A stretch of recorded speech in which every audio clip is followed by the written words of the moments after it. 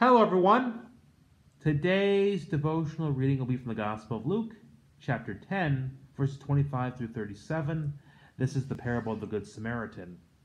It's written Just then a lawyer stood up to test Jesus, and he said, What must I do to inherit eternal life? He said to him, What is written in the law? What do you read there? And he answered, You shall love the Lord your God with all your heart, with all your soul, with all your strength, with all your mind, and your neighbor as yourself. And he said to him, You have given the right answer. Do this, and you will live. But wanting to justify himself, he asked Jesus, And who is my neighbor? Jesus replied, A man was going down from Jerusalem to Jericho and fell into the hands of robbers, who stripped him, beat him, and went away, leaving him half dead. Now by chance a priest was going down that road, and when he saw him, he passed by on the other side. So likewise a Levite, when he came to the place and saw him, passed by on the other side. But a Samaritan, while traveling, came near him, and when he saw him, he was moved with pity. He went to him and bandaged his wounds, and poured oil and wine on them. Then he put him on his own animal, brought him to an inn, and took care of him. The next day he took out two denarii, gave them to the innkeeper, and said, Take care of him. And I come back, I will repay whatever more you spend. Which of these three do you think was a neighbor to the man who fell into the hands of the robbers? He said, The one who showed him mercy. He said to him, Go and do likewise. This is the gospel of the Lord. Praise to you, Christ. So, I don't really have time to get into the whole explanation, but Jews and Samaritans hated each other's guts.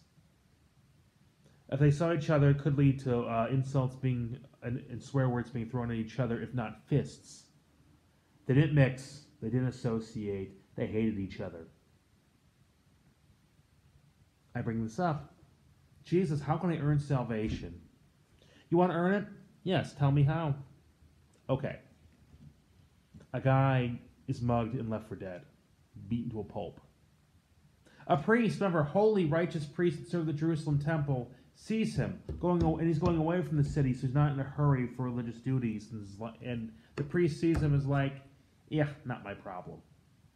The Levite, uh, a religious functionary, another of our holy temple servants, again going away from Jerusalem. There's no hurry. Sees the guy, yuck. Doesn't want anything to do with him. Ew, a Samaritan shows up. Oh no. Here, let me help you. Gets him to safety. All the while, there's no guarantee the Samaritan won't be beat, mugged and beaten up and left for dead right alongside the guy. At his own expense, takes care of him. The first day, the oil and wine isn't cheap. He's losing time over business deal, whatever business he's on. He's time is money. He's wasting it. Takes him to an inn. Spends the whole day taking care of him. Pays the guy, saying, "Okay, look after him. I'll pay you at any expense when I get back." And take him for me a ride. Take me for a ride. Overcharge. Okay, just take care of them. Now, Jesus says, "Go and do likewise." That the Samaritan was the neighbor to the guy who got beaten up. That's how you earn heaven. Now, acting like that Samaritan did, if that's like our member of our family, our, our best friend, sure. A total stranger? Much like someone we can't stand? We can't do that. It's not humanly possible. And that's the point. We can't earn salvation. That's why it's given through Christ. And it's a double meaning. We in the parable are the person that's beaten up, helpless, and hopeless. Jesus Christ is, is the Samaritan. At great cost to himself, he comes to rescue us. He comes to forgive us. And he comes to make us his children.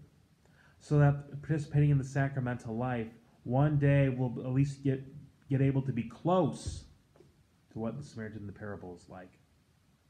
We're not earning salvation. It's not God as a bean counter who's writing down everything we do. Rather, we're working with God. And Jesus isn't just a Savior who forgives. Now, He is a Savior who forgives, don't get me wrong, and He pulls us further and further out of the darkness into His glorious light. We're like Him. We cannot do this on our own. We only do it through and with Him. Hence, attaching ourselves to the sacramental life of the church. Salvation is not earned, it's given. And salvation isn't just a, a suit of armor against God's wrath, it's being made more like Him. Thank God that He's come for us on this rescue mission. Let us close with prayer. Lord, help us to sincerely repent, help us to sincerely be humble, and help us, Lord, to sincerely love. Amen.